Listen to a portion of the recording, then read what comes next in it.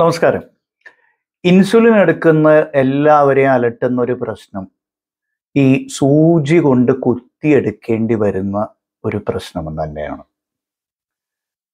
അതിന് ദിവസേന മൂന്നോ നാലോ ചിലപ്പോൾ അഞ്ചോ തവണ എടുക്കേണ്ടി വരുന്നതിന്റെ ഒരു അസൗകര്യവും വേദനയും വേദന ഉണ്ടാവാറില്ല.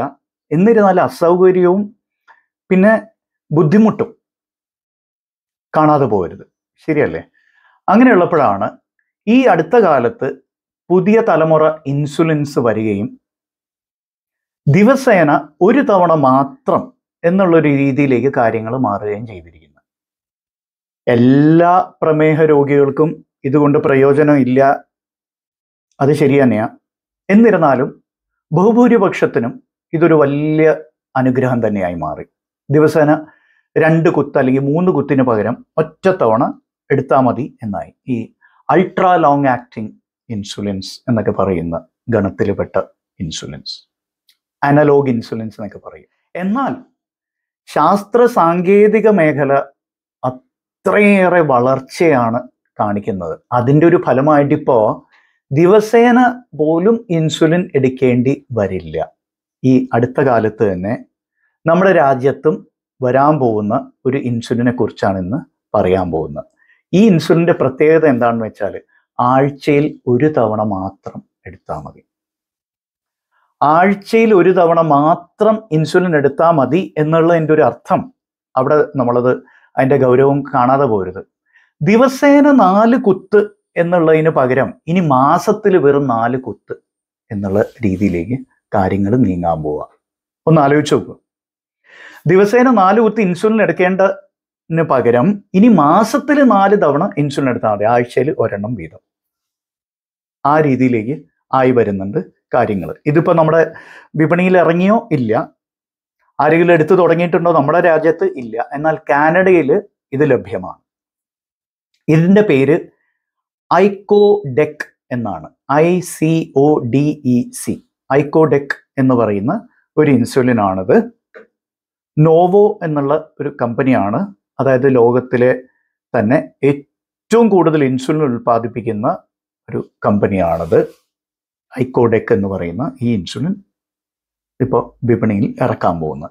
എന്തിനാണെന്ന് ഐക്കോഡെക്കിനെ കുറിച്ച് പറയുന്നത്. കാരണം നൂറ് വർഷത്തിന് ശേഷവും ഇൻസുലിൻ കണ്ടുപിടിച്ചെടുത്തതിന്റെ ഉപയോഗം തുടങ്ങിയതിന്റെ നൂറ് വർഷമാണ് നമ്മൾ കഴിഞ്ഞ വർഷം ആഘോഷിച്ചത്. നൂറാം വാർഷികം കഴിഞ്ഞ വർഷം ആഘോഷിച്ചായിരുന്നു. നൂറ് വർഷത്തിന് ശേഷവും ഇൻസുലിന്റെ ഉപയോഗത്തിൽ കുറവൊന്നും വന്നിട്ടില്ല. എന്ന് മാത്രമല്ല ഇൻസുലിന്റെ ഉപയോഗം കൂടിക്കൊണ്ടിരിക്കുന്നതായിട്ടാണ് നമ്മൾ കാണുന്നത്. കാരണം കൂടുതൽ പ്രമേഹം പ്രമേഹ രോഗികൾ നമ്മുടെ ലോകത്ത് വർദ്ധിച്ചു വരുന്ന ഈ അവസ്ഥയിൽ ഇൻസുലിന്റെ ഉപയോഗം കൂടാനേ സാധ്യത കാണുന്നുള്ളൂ. അപ്പോൾ എന്നാൽ ഇൻസുലിന്റെ ലോഡ് ഒരു പേഷ്യന്റ് എടുക്കുന്ന ഇൻസുലിന്റെ കുത്തിന്റെ അളവ് അത് കൂടാൻ അനുവദിച്ചുകൂടാ. അത് നിയന്ത്രിക്കേണ്ടിയിരിക്കുന്നു.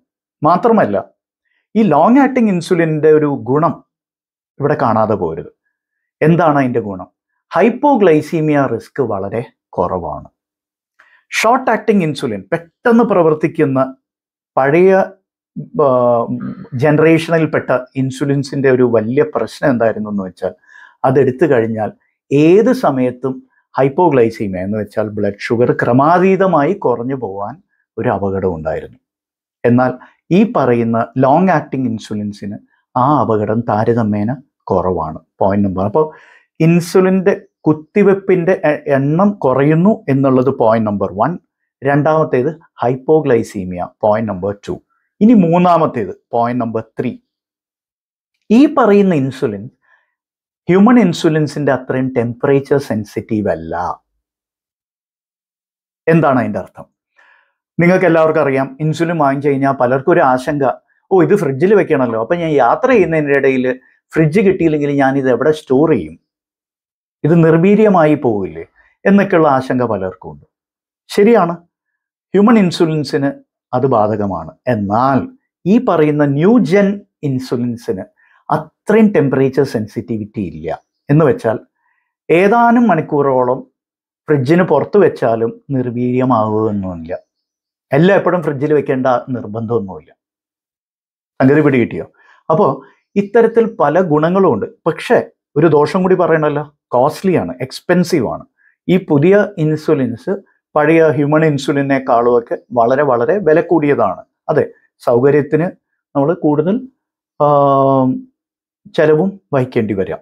സൗകര്യവും പിന്നെ ഗുണങ്ങളും ഉണ്ടെങ്കിൽ അതിന് വിലയും കൊടുക്കേണ്ടി വരും. അപ്പോൾ എക്സ്പെൻസീവ് ആണെന്നുള്ളതിൽ തർക്കമില്ല. എന്നാൽ ലോങ് ടേമിൽ നോക്കുമ്പോൾ സേ ഒരു വർഷത്തെ ഒരു ദൈർഘ്യത്തിനുള്ളിൽ എന്താണ് ഇതിന്റെ കോസ്റ്റ് എന്ന് നോക്കിയാൽ it actually balances out because മാസം നാല് കുത്ത് മാത്രം മതി.